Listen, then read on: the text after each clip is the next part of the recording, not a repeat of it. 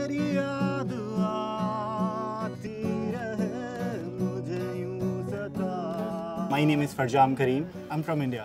I'm currently enrolled in International Masters Program for Telecommunication Engineering.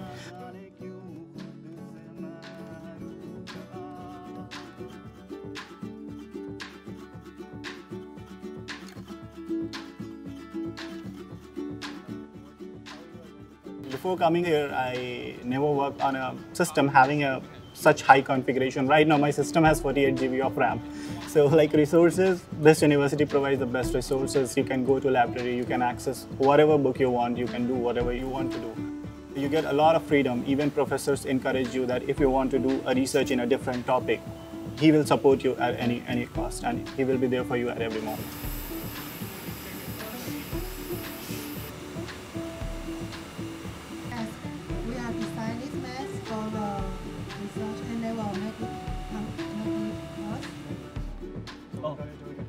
My lectures are completely English taught because I'm enrolled in English taught program and the professor, uh, the subjects that I choose, professor gave us a lot of uh, study materials. He explained everything very well, very clear presentation. If we have any doubt, we can easily approach to teaching assistant and then we can e- also approach to professor.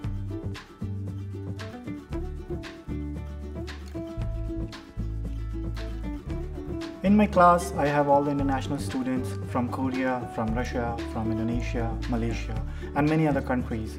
After class, we used to have a conversation for 10 to 15 minutes, and then we used to go to our respective labs.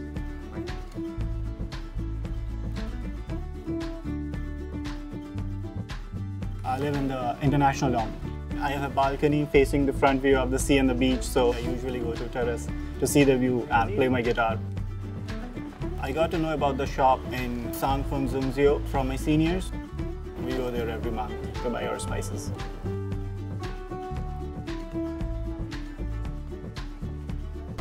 We have a very big kitchen that has a fridge, that has a microwave oven. A lot of times I used to cook chicken and rice and sometimes spaghetti, pasta, noodles. Taiwan is a very safe country when it comes to security concerns. I usually love to go out after 12 in the night to the Love River to have my own me time. Because of the quality of teaching, the research, the knowledge that you get to know, the financial support, the culture here, the diversity, and food. I will recommend students from different nationality to come to Taiwan